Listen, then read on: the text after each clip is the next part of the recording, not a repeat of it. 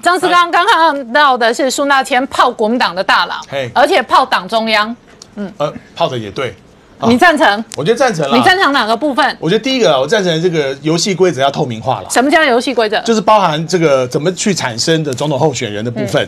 然后第二个，呃，人选的部分，嗯，然后第三个，呃，在这个过程当中哦，不要有其他的这种呃黑手或者其他的这种引导性的力量进入。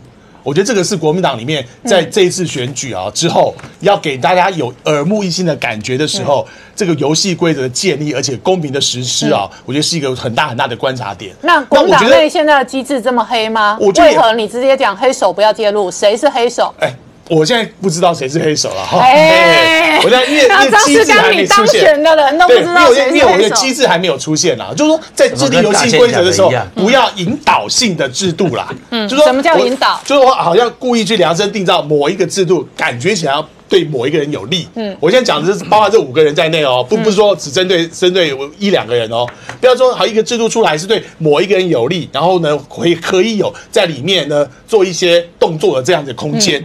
我觉得这个是非常必要的。那国民党我觉得党中央现在明明是吴敦义，你说这五个人，张善政关国民党什么呃，事？对，张善政基本上不是国民党，他不会参加初选啊。然后再来，我觉得日期不是重点啦，嗯，因为明年的那个总统选举的那个投票日啊还没有确定，因为可能会脱钩，嗯，如果脱钩的话，大概是三月。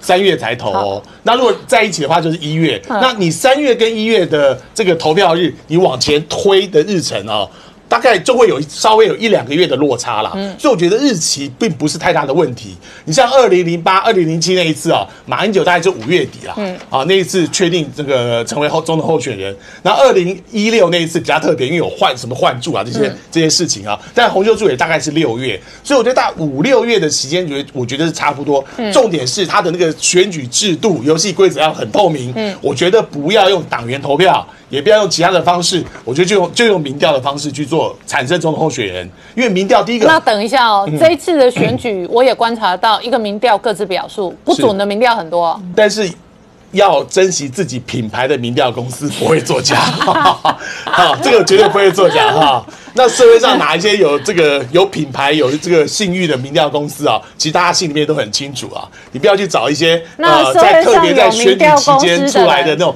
呃虚工具型的民调公司，等一下，那。社会上有民调公司的人，现在就可以左右国民党的总统候选人了吗？我相信，呃，很快就有相关的民调就会出来了，包含这个，包含这个蓝绿哪些人啊，包含张善政啊，一些比较有公公信力的民调啊，会有这些出来。你觉得谁有公信力？呃，我觉得长期性的这些呃长期性在做民调的公司，比如说 T 台啦，哦，嗯或者是一些学术机构啦啊，哦，所以说比较学术机构谁？呃，我我知道有一家公司在选前有做一份一份民调，嗯，啊，呃，选后结果基本上差不多，嗯，啊，基本上差不多，特别是我我跟建民呃议员这个选区基本上是一致，嗯，所以其实是有这样的公司存在的，嗯，所以我觉得不要就用这种公开的方式，然后委托比较多的民调公司，而且比较进行长天期的一个民调来产生国民党的总统候选人，但是你在民调之前还是有些动作要做，第一个我觉得辩论会是应该的吧，嗯。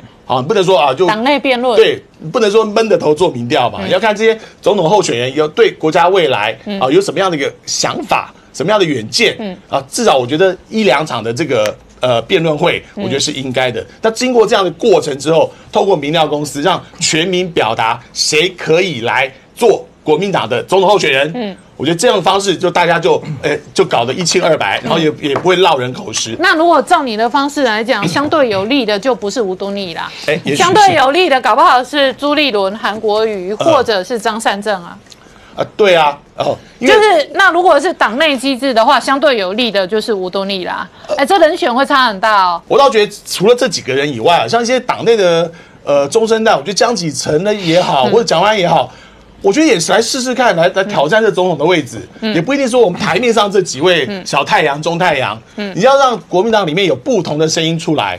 我相信，就江启臣、蒋万安这一类的人，他在发表政见的时候，他的脉络、他的想法一定跟长一辈可能会很大的不一样。所以你赞成中生代？我认为站中生代，让他试试看。嗯我觉得让他们就是鼓励他参与总统选候选人选举这一局，嗯，让这个色彩，让这个很多的交集啊更缤纷多姿。不要说主持人一种声音，那比如说像两岸政策，我相信江启臣的九二共识跟。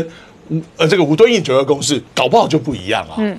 啊，诠释起来就不一样。嗯，那我觉得能不能让这些中生代的声音也发出来，嗯，让让大家觉得说，哎，国民党不仅仅只有这些呃这些大头们，然后这下一代的也慢慢熬出头，也慢慢能够发表他的意见，而且成为一个党内的主流。我觉得不管最后有没有。得到这个位置，但对于整个政党的形象，而且会影响这些大头，我觉得这个非常非常重要。所以在你的架构跟价值里，国民党内也应该有一场阶级革命。对，我觉得是让基层跟中生代开始来革大佬的命，或者左右大佬的思维。因为因为你要新陈代谢，因为你要代表，既然这些未来这些人啊，马马无助这些人，你要代表国民党。